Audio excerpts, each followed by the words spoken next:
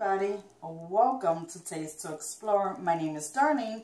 Now on today's episode i'm bringing you an, a fantastic dish. It is so delicious. I'm sure you've eaten it in a bunch of times in restaurants. We are making coconut shrimp. Yes that's right coconut shrimp right at home.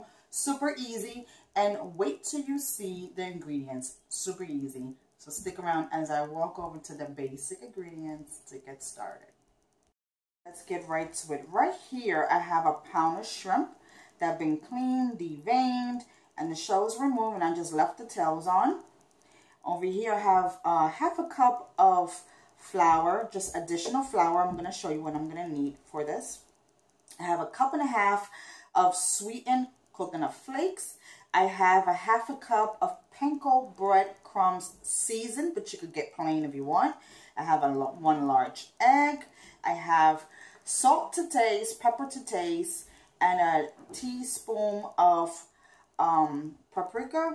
I have one cup of flour, two teaspoons of baking powder.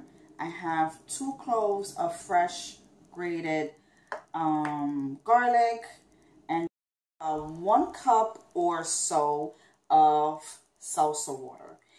Now let's begin. In our batter. Now what we're going to do is we're going to mix the dry ingredients that's inside here. And we're going to make like a stationary where we're going to be dipping in this batter.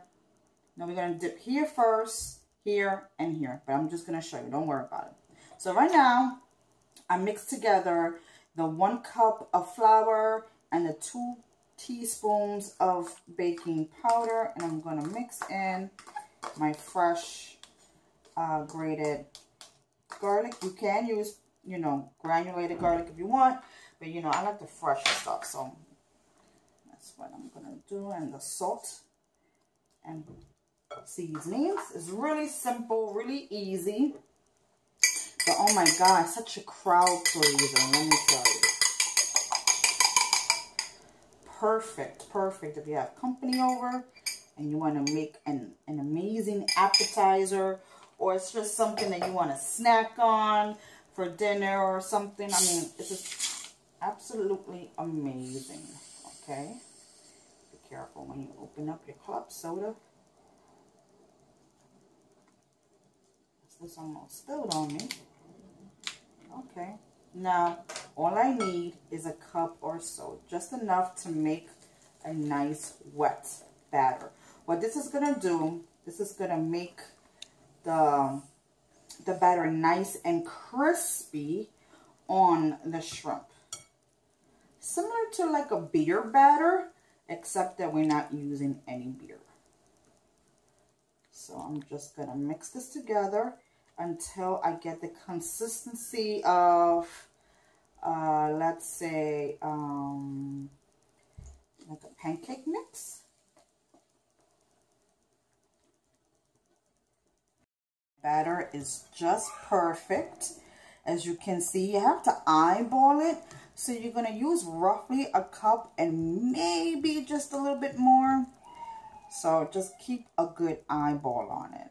But you see, this is exactly what we want. Give it a taste. I did. The seasonings were perfect. Now, we're going to put this to the side for a bit. I want to tell you about this. Now, let's just mix this together. This is what's going to give it that nice crunch and that coconut flavor. And it's just, just marvelous. Really, really simple really easy. You can even make this in advance if you wanted to.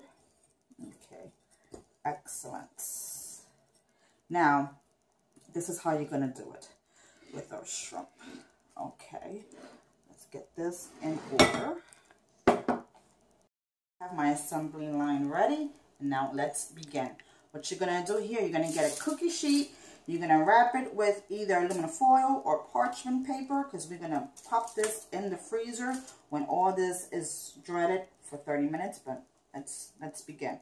So my shrimp, I cut it down in the middle to make like a butterfly You can leave it closed if you want, but I like to clean in the center and I just left the tails on. So this is what you're going to do. You're going to take just a, like a half a cup or less of um, plain flour. It's just to dread it so that way the batter can stick to it. So we're just going to shake it, any excess off. We're going to dip it in our batter. And then we're going to make sure that all the excess of the batter is kind of off as much as possible. And then we're going to put it in our coconut mixture. If you get close, you can see coconut mixture. And then, voila. Here we go. So I'm just going to place it down. And I'm going to put these to freeze. I'm going to do one more.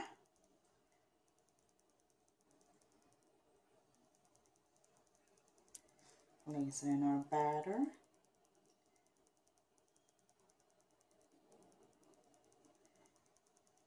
Make sure all the excess is out.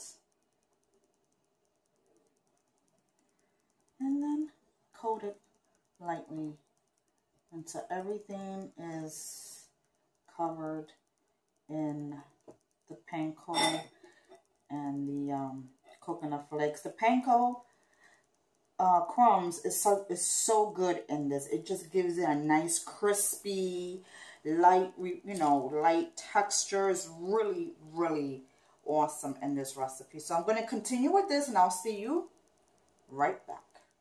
Welcome back. Well, I have my uh, shrimps in the freezer for about 30 or 40 minutes and it's important to do that when you're working with a batter like this because you want everything to be tightly in you know entwined with the shrimp if not if you put it directly to the hot oil it's just gonna fall apart but this way it ensures it being you know stuck firmly on the shrimp so right now I have about a cup of canola oil you can use corn oil any kind of clear oil will do. And now I'm going to place them in. And you hear the sizzling? Oh my God, it's going to be delicious. I have the oil on high, heating up for about 375 if you have a candy thermometer. And you don't want to crowd your pan, just enough for it to cook we want it nice and crunchy and golden brown on both sides. And then that's it. I'm going to show you how it looks when it's all done. So. I'm just going to turn it around. See? Nice light golden brown. That's what you want. You don't want to overcook shrimps now. They get rubbery. And don't crowd your pan. And then that's it. I'm going to show you how it looks when everything is all done. Welcome back. Well, look at my shrimps. They're all done. Well, I still have some cooking in the back stove. And I just lined up my plate with um, some um, paper towels to catch up all the grease. But they are delicious, my friends. And these are going to be for my family, so I don't want to you know, take a bite out of it because let me tell you, they are addicting and I'm not going to put myself to that because if I take one, I'm just going to want to take them all. So thank you so much for spending time with me in my kitchen. I hope you give this a try and make them and give me a thumbs up if you like this video and don't forget to subscribe and share the videos. I need more subscribers so help me build my channel and I thank you so much. Don't forget I have um, Instagram and Facebook. Give me, you know, visit me, uh, tag me, um, and don't forget to, you know, friend me in those areas. So stick around because there's such much more deliciousness coming to you. So take care. Bye-bye.